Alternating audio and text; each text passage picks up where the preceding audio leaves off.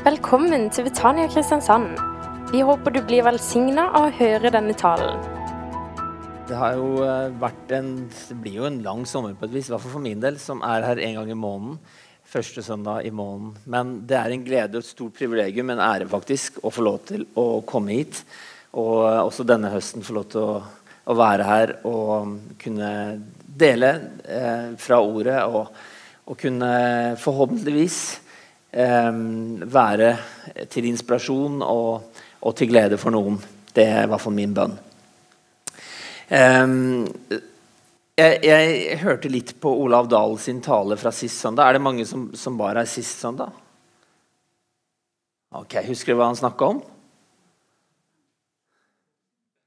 Ja, det var, det var noe så, det, det, det, var jo et ekkelt spørsmål. Men, men uh, ofte så glemmer vi det. ikke sant? Men, men da jeg hørte på det, så tenkte jeg jeg fikk bare en sånn lyst til å, å si noen bare få ord til innledning eh, i forlengelsen av den talen. For det, det, er flott å høre en inderlig tale, en som virkelig ønsker å formidle dette med evangeliet som et korn som vi kan være med og så.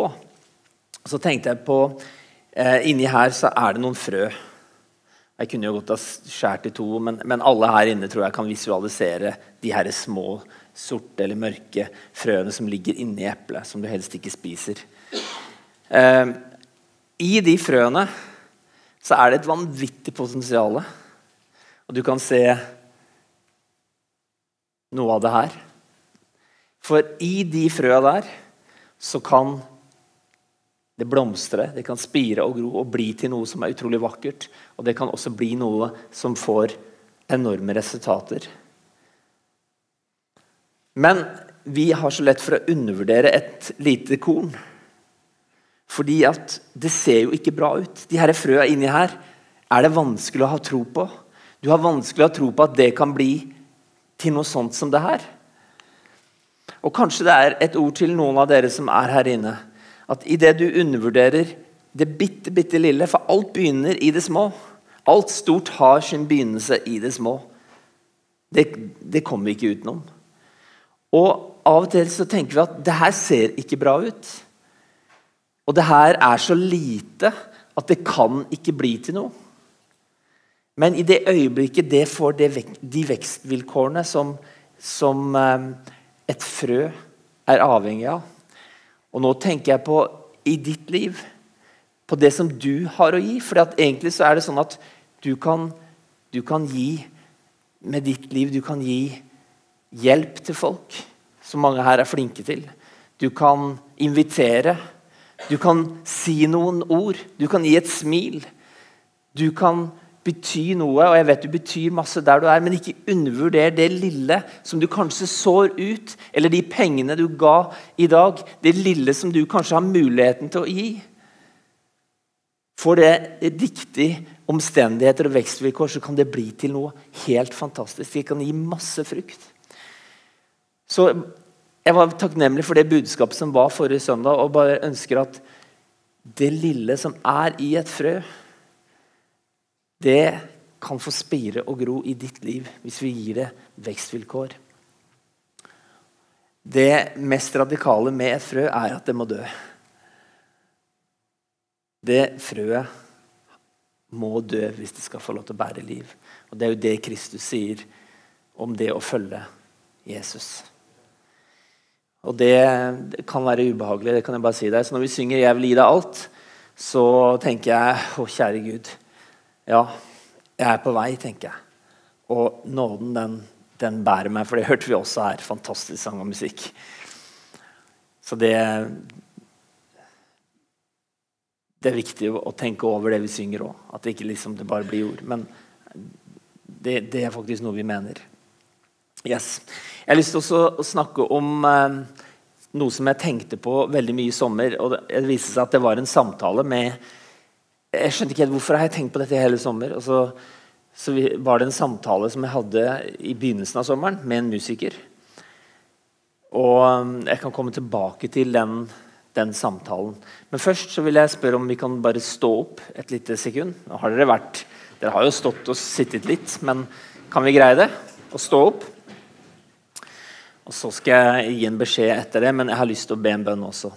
Takk Gud, takk for denne stunden her. Takk at vi kan møtes i Jesu navn. Takk for denne fantastiske forsamlingen. Takk for de utrolige herlige folka som jeg får lov til å, å bruke litt tid med denne søndagen. Jesus, takk for at du har investert så mye i deres liv. Og takk for at de skal få se på sine liv som verdifulle. Ikke som noe smått og ubrukelig, men som, som disse små frøa som kan bli til noe vanvittig stort. Og takk for de som er midt i, i den, den, Det kan være blomstringa, og det kan være i høsttid. Bare velsign hver og enkelt en i, i, den fasen og den sesongen som, som, man er i. Og takk for denne menigheten i Jesu navn. Før du setter deg Den stolen du setter deg på nå Klappstol. Jeg sitter godt her i Betania. Mye, mye bedre enn de fleste kirker.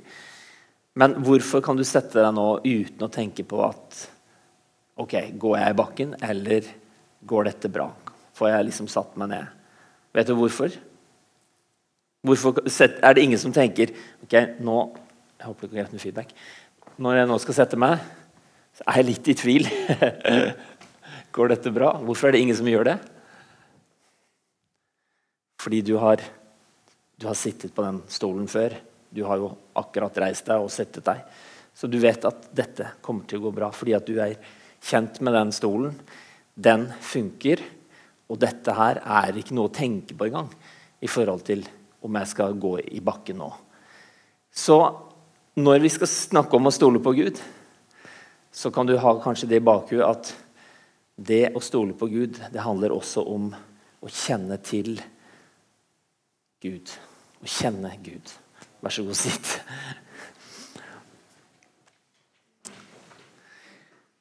Jeg har lyst til å nevne også den, den eh, historien med, med, den personen jeg møtte i sommer. En musiker, en, eh, en, venn. Og jeg har visst at ikke han er aktiv.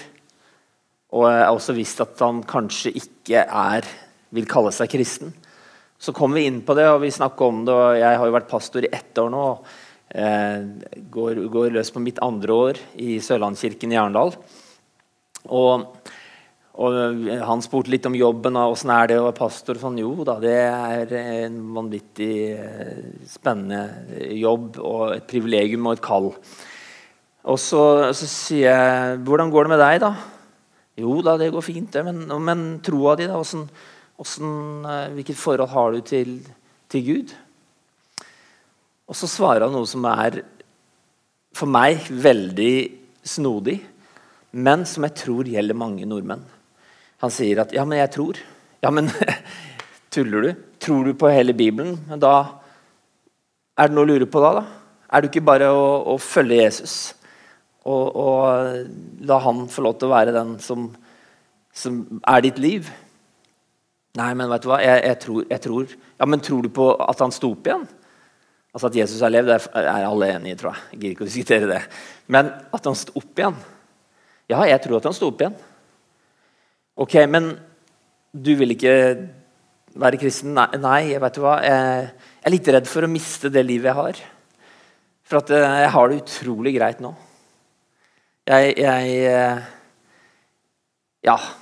Jeg holder på med musikken og bor der jeg bor og Jeg bare What?! Du tuller med meg! For en sjanse å ta! Og vet du hva som slo meg? Hvorfor kan han ikke stole på Gud? Hvorfor kan han ikke bare stole på Guds favn og bare kaste seg i den favnen og si Gud, her er jeg, ta mitt liv.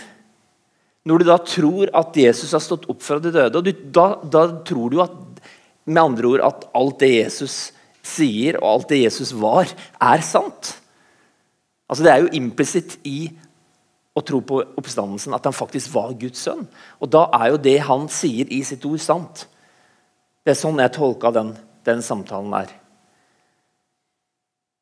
Vet du hvorfor han ikke kunne Eller i hvert fall det er det jeg tror. da. Han ikke kunne kaste seg i, i Guds armer. Det er fordi jeg tror han ikke har lært Gud å kjenne. For han han, han, vet ikke om han kan stole på Gud. For da tenker man at ja, men da hvis jeg, hvis jeg, gir mitt liv over til Gud, da mister jeg sikkert en hel masse ting. Og den, den sjansen er jeg ikke villig til å ta. Og så tror man så lite om Gud at vi tror at våre egne veier de vil ende opp bedre, og det er en bedre kurs å ta enn det som er Guds veier. Snille vene, hvem er det som blir lurt? Tror vi så lite om Gud at han som har skapt deg, ikke er til å stole på? At han som har skapt deg, i det øyeblikket du, du gir ditt liv til han, ja, så åh, da blir det Å nei, hvorfor gjorde jeg det? Liksom, ja, ja, men nå er vi Åh, ja, ja. Hallo! Det er Gud som har skapt hele universet. Han vet hva som er best for deg. Han vil lede deg slik at du kan ha det gøy, slik at du kan få leve ut det potensialet han har lagt ned i deg. Slik at han kan få lov til å være din hjelper og din venn. Og slik at han kan få lov til å være din ressurs her på jorda helt til du ender opp i himmelen og tar imot seierskransen som han har lova. Hva er greia? Hvorfor kan vi ikke stole på Gud? Selvfølgelig kan vi stole på Gud, men hva er det med oss som gjør at ikke vi kan stole på han? Og Hva er det i mitt liv som gjør at på områder i mitt liv så er det vanskelig å stole på Gud? Hva er det som gjør at vi holder tilbake når Gud ønsker at vi skal bare legge oss over i hans favn og oppleve den friheten det faktisk er å tilhøre han 100% som Guds barn? Og bli leda av han og være trygg hos han? I sommer så, så var vi eh, i det, den beste fornøyelsesparken jeg kan tenke meg. Den heter Six Flags. Og Her ser du min familie pluss to til eh, helt til høyre i bildet, som er noen venner. Men det er én person som mangler på det bildet. Og Jeg vet ikke om du, du greier å se det, men vi er en familie på seks. Hvem mangler? Det er mor. Mor mangler. Og hvorfor er ikke mor med? Vi har gleda oss i månedsvis. Vi skal eh, bl.a. ta den her. Den, den, ser du i horisonten der. Liksom. Den, den er, det er den der. Det er den. Og den, eh, den, er, den er to rides i én. Den er én som, som, gjør at du blir skutt ut i, fra 0 til 200 km på tre sekunder. Og så blir du skutt opp der. Og oppå der så er det 147 meter. Og så går den rett ned igjen. Så, det, er den, det, er den, greia her, ikke sant? Ops! Og så oi! og så har den en ting til. Du kan sitte de der, i de vognene der. Da går de 147 meter opp der. Og så blir de sluppet ned 147 meter nesten da. Og det er Oslo Plaza, Norges høyeste bygning, tror jeg, er 127 eh, meter. Eller nei, 117 er det. 117. Så det er liksom 20-30 meter høyere enn Oslo Plaza. Så sitter du der og dingler med beina, og så blir du sluppet med. Sluppet rett ned i fritt fall. Åh! Hva slår det? Men hvorfor er ikke mor med? Hvorfor er ikke mor med?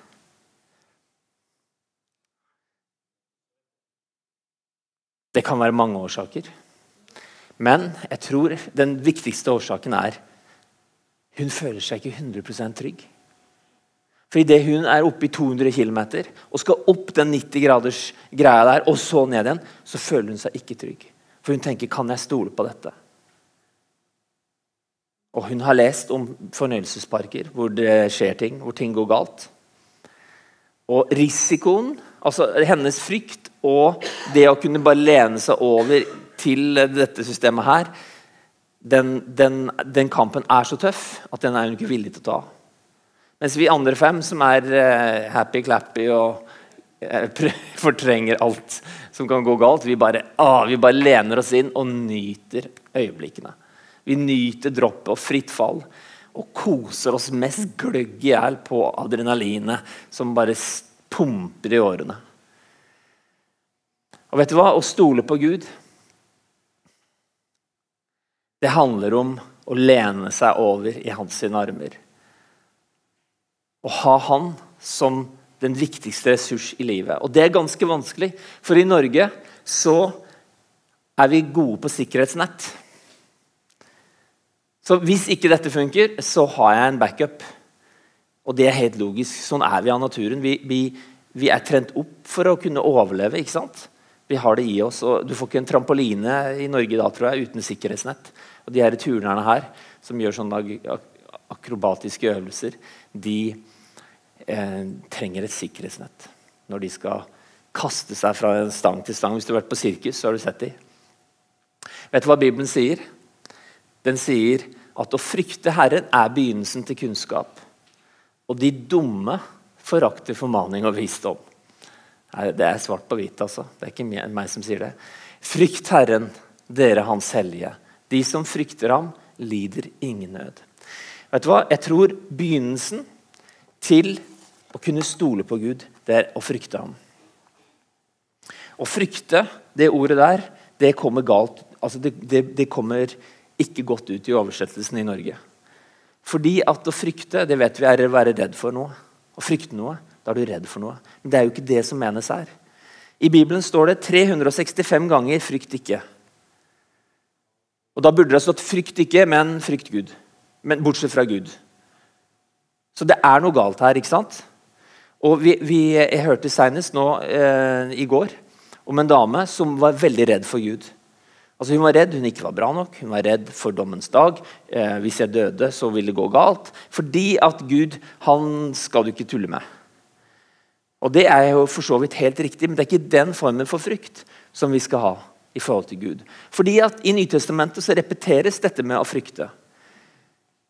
Men det er ofte i, i en setning om at når noen ble helbreda, så fikk de stor frykt. Eller Eh, en man, en, noen onde ånder ble drevet ut. I Apostlenes gjerninger kapittel 19 kan du lese det. Så kom stor frykt over dem. Og de priste Gud. Altså, det, det, det, betyr noe annet enn å være redd for. Men jeg tror det, å frykte Gud Hvis du leser på i hebraisken her, så betyr det å ha en ærbødighet for. Det betyr å ha en respekt for, og det betyr å vise en oppmerksomhet overfor den som, som er nummer én i våre liv, Gud. Og ta Hans ord på alvor. Men så betyr det også å frykte Gud, det betyr også å lære ham å kjenne. Og det betyr å elske.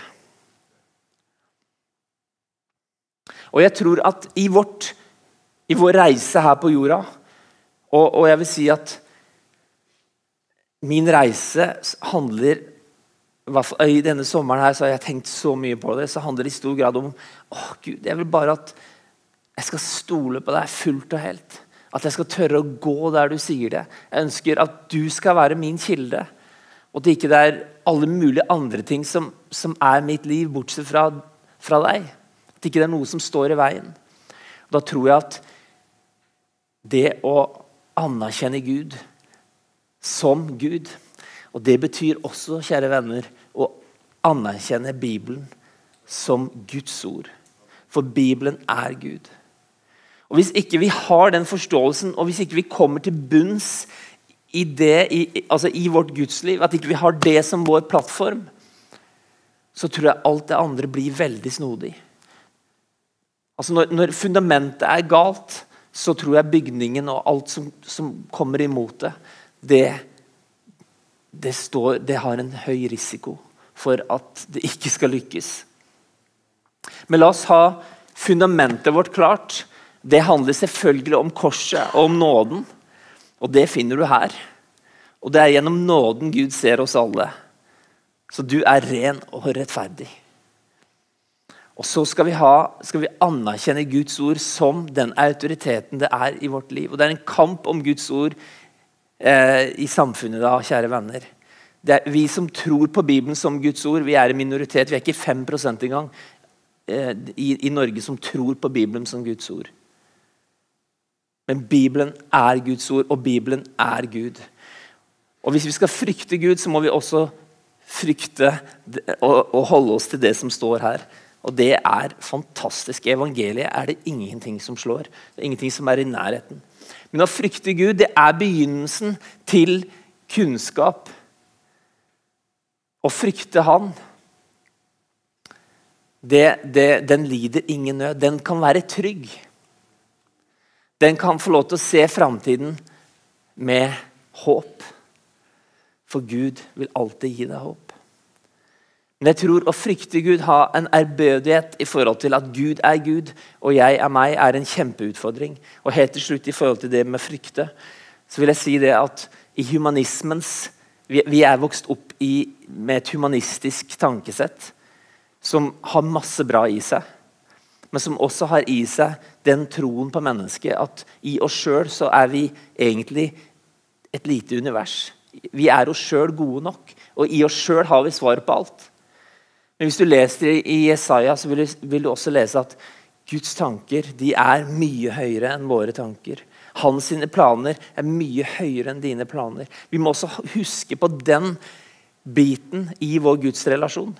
At Gud, han, han er suveren. Han er over alt og alle.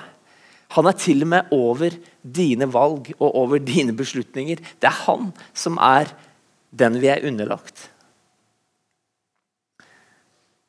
Og Det betyr at i vår forståelse og i vår, vår, vandring med Gud, så er vi underveis. I Paulus sier det jo, og han hadde ganske god peiling. Vi ser stykkevis og delt. Jeg ser liksom et, som en speil i en gate. Og speil på den tida, det var sånne kobber eh, laget av kobber ofte. Var, veldig, det var liksom ikke de speilene vi har i dag, som er ganske nøyaktige. De var veldig uklare, og det var liksom vanskelig å se ordentlig. Ordspråkene 3 5. Der står det 'Stol på Herren av hele ditt hjerte, og sett ikke lit til ditt vett'. Det her er i forlengelsen av det å frykte Gud. Snakker om å frykte Gud og kunne stole på Gud. For kan vi stole på Gud, kan vi gi Han hele vårt liv og alle våre dagligdagse og praktiske ting, kan vi stole på at Han er med oss. Her står det 'Stol på Herren av hele ditt hjerte, og sett ikke litt ditt vett'. Hva betyr dette her? Jeg har lest noen artikler nå om at eh, vi ikke skal følge hjertet. Jeg vet ikke om dere har lest de. Det er skummelt å følge hjertet. Eh, og da må vi vite hva hjertet er for noe. For når det står på at vi skal stole på Herren av hele vårt hjerte, hva betyr det? da? Hvis ikke man skal følge hjertet alltid. Og Jeg tror det bare er en forvirring i hva Bibelen kaller hjerte. For alltid så sier vi at hjertet det, det handler bare om at ja, ja følg følg det du har lyst til, eller det du kjenner for. Gjør det du, du, du føler for, og, og blås i alt annet. Det forbinder vi ofte med 'følg hjertet'. Det er jo ikke det, Bibelen, eh, det er ikke det som hjertet betyr i Bibelen. For Bibelens måte å beskrive hjertet på Hvis du går på grunnteksten her, eh, altså på hebraisk, da, og jeg syns det er litt spennende å se på sånne ting Der står det noe. Hjertet det er den indre overbevisningen din det er din vilje og ditt sinn og dine tanker. Okay? Det er en indre overbevisning, men det er også dine tanker, ditt sinn og din vilje. Det er det, dette ordet 'hjerte' betyr. Så når du skal stole på Herren av hele ditt hjerte, av din indre overbevisning, av din vilje, av din makt og av din eh, Altså dine tanker. Stol på Herren med det du har. Også, men hva betyr da 'sett ikke lit til ditt vett'? Jo, vett her betyr din forståelse. Din forståelse av verden, din livsanskuelse, din oppfattelse. Ok? Det er ordkløveri her, men allikevel er dette vanvittig viktig. Stol på Herren av hele ditt hjerte. Sett ikke lit til din forståelse. Og Hva sa vi akkurat? At Paulus sa vi ser stykkevis og delt. Og Vår forståelse det handler om vår erfaring, hva vi har opplevd fra vi, vi ble født til nå. Det er vår forståelse. Hva har vi opplevd? Hvordan forstår vi verden? Hvordan forstår vi Gud? Og Den er i endring hele tiden. Vår forståelse, er vi enige om det? Vi er på vei. Og vi forstår ikke alt 100 og Jeg leste akkurat om, om, kanskje den skarpeste kniven i skuffen når det gjelder teologi på Nytestamentet. Og vet du hva han sier for noe? Det, det er visdom, spør du meg. Han sier at jeg tror jeg skjønner ca. 80% At det jeg skriver om, er 80% riktig. Og så har jeg 20% feil. Men, sier han, Jeg vet ikke hvilke 20% som er feil. Skjønte du den? Og det sier altså Nå snakker vi om de, de skarpeste knivene. Det, det, er ikke meg. Men, men, folk som virkelig har studert, som har brukt hele livet sitt på å prøve å forstå skriftene og, og studert teologien, sier at vet du hva, jeg forstår stykkevis. Min forståelse, mitt vett, min oppfattelse, den er underveis. Og her er det, her er det svakheter. Så stol på Herren av det du har. Gi han din forstand. Gi han eh, din vilje. Og la han få lov til å overbevise deg. Og la din forståelse la Vær ydmyk overfor den, og tenk at den er på vandring. I, I Salme 37 så står det:" Stol på Herren og gjør det gode. Bo i landet og ta vare på troskap. Ha din lyst og glede i Herren, så gir han deg alt ditt hjerte ber om. Legg din vei i Herrens ånd, stol på ham, så griper han inn. Han lar din rettferd stige opp som lyset, din rett som høylys dag. Vær stille for Herren og vent på ham. Bli ikke sint på den som lykkes med sin vei, den som setter i verk onde planer. Stol på Herren, sier salmisten her i, i Salme 37. Jeg ønsker i hvert fall med mitt liv å legge mitt liv over på Han. Stole på Han. Og vet du hva? Det er det smarteste du kan gjøre. For jeg merker Av og til så, så har jeg lyst til å stole på så mye annet. Jeg har lyst til å, og Vi stoler på helsevesenet, vi stoler på politiet, og vi stoler på eh, rettsstaten, og vi stoler på eh, Nav og vi stoler på, ikke sant? Og det, det er jo, vi, vi, bor i et land som er ekstremt privilegert. Og det, det, må vi òg huske på og takke for. Og det er et gode. Men samtidig så ønsker jeg at mitt liv skal få lov til å være Gud som kilde. Jeg ønsker å ha Han som nummer én. Og det er en sånn frihet i det, kjære venner. For i det øyeblikket du greier å slippe tak i at ja, men det er ungene som gir meg mening, eller nå lever jeg for ungene. Og jeg hører folk si det. Eller nå, nå, er jobben, nå har jeg fått denne jobben som jeg drømte om i alle år. Nå er det jobben, eller nå er det den karrieren, eller nå er det den tittelen jeg fikk. Eller nå er det barnebarna som, som er Nå er det det som er fokus. Eller nå er det hytta, for vi har jammen fått skrapt sammen til en hytte. Nå er det det som er fokus. Nå, nå skal vi kose oss og ha det bra der på hytta. Og så får vi se hva livet bringer. Eller, du skjønner, det, det er alltid noe. Greia er at de tingene der, de er, de er forgjengelige. De, de, de er, ungene er til låns. Og ditt liv er vanvittig kort. Og hvis, hvis, du setter din lit og har liksom framtida di i noe annet enn til Gud, så kommer du til å bli prøvd. Og det fallet kan bli veldig vondt. Hvis du lærer å stole på Gud, at han faktisk er den som jeg først spør til råds Det er han jeg først søker når jeg lurer på noe. Det er han som er nummer én når jeg, når jeg skal ta avgjørelser. Og det er han jeg vil spørre først i hvordan jeg disponerer og bruker de talentene jeg har, så kan jeg garantere deg at han kommer ikke til å svikte deg. Han kommer aldri til å forlate deg. Fordi at hans ord står fast. Og han har sagt 'frykt ikke'.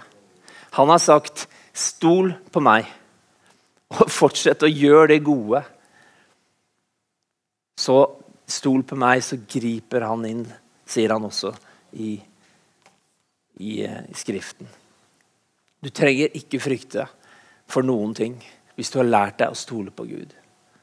Og når du har lært deg å ha den ærbødigheten for Gud og bare gi ditt liv over til Han som er kongenes konge, og begynt å stole på Han, så vil du merke at det er en, det er en sånn frihet. For du trenger ikke å bære alle byrdene, for du er ikke skapt for å bære alle byrdene. Rundt alt det som har med framtiden og alt som er usikkert i denne verden. Men Gud, han er mektig til å bære din framtid. Skal vi be sammen? Jeg takker deg, Gud, for denne muligheten vi fikk i dag til å møtes. Og, og takk for ditt ord. Takk for ditt ord står fast. Og takk for at, uh, at, din godhet og din kjærlighet er til stede her. Og takk for at du, du virker gjennom Den hellige ånd til omvendelse fra ting som vi må legge fra oss, og til, til å komme nærmere deg, Gud. Jeg takker deg for din kjærlighet, Herre. Og takk for at du oppmuntrer mine venner og meg selv i dag til å tørre å kaste oss ut i dine armer. Og at vi lever i kjærlighetsrelasjonen til deg, hvor du er den som er nummer én. Og så ber jeg for hver enkelt en overfor den hverdagen og den høsten som ligger foran. At vi skal tørre å ta nye steg i å stole på deg. At vi skal tørre å ta nye steg i forhold til økonomi. At vi skal tørre å ta nye steg i forhold til det å være lys og salt på arbeidsplassen være lys og salt i nabolaget. At vi har gitt våre liv til deg, at det ikke er oss sjøl som lever. At vi ikke har oss sjøl å ta vare på, eller vårt navn, eller vår stolthet, eller, eller vår posisjon. At det er det, det er det vi først og fremst tar vare på. Nei, vi vil frykte deg, og vi vil elske deg, og vi vil stole på deg. Takk for at du hjelper hver enkelt her inne til å bruke denne tiden, den korte tiden vi har på jorda, til å ha deg som nummer én. Jesus, takk for at du, du oppmuntrer oss og aldri gir deg. Og takk for at du løfter oss opp gjennom din nåde og din kjærlighet. Takk for at du har sett din nåde i meg og alt, alt som jeg har i mitt liv. Og takk for at, at det gjelder alle mennesker på denne jorda. Så elsker du oss så inderlig. Og ønsker bare at vi skal komme nærmere inn til deg. Jeg takker deg for din godhet. Og Hvis du er her som, som, trenger bare å gi ditt liv på nytt igjen til Gud Kanskje du har gjort det allerede gjennom nattværet, og det er så fint å være samla rundt det også. Hvor det er renselse i, i blodet. Hvor det er fellesskap gjennom brødet. At vi alle har del i det samme legemet. Vi alle er avhengig av hverandre. Men hvis du trenger bare å gi ditt liv på nytt igjen til Gud, da sier Jesus du skal få være den jeg frykter aller mest. Altså den jeg viser min tillit til. Den jeg vil stole på. Og den jeg vil ha som nummer én i mitt liv. Så skal vi ikke bare gjøre det, bare ber en bønn for, for deg også. Jesus, jeg takker deg, Herre, for at, for at vi kan få lov til å gå på ditt ord. Og takk for det ansvaret vi får når vi, når vi hører ditt ord. At vi, vi lar det få lov til å spire og gro inni oss, og at det, det, skal få lov til å vokse. Og jeg takker deg for, for de mennesker som har tenkt at ja, men Jeg har kanskje vært opptatt med så mye annet istedenfor at jeg har tenkt at jeg skal frykte deg mer enn noen, noen ting. Og takk, Gud, takk for de menneskene eller det mennesket her inne som, som trenger å ta det, den avgjørelsen. Bare takker deg for at du gir frimodighet og styrke til å bekjenne ditt navn som det høyeste navn og den høyeste autoritet, og til å kaste seg over i dine armer. Jeg bare takker deg for det. I Jesu Kristi navn. Amen. Du har nå hørt en tale fra Betania Kristiansand. For mer informasjon kan du besøke våre hjemmesider på betaniakrs.no.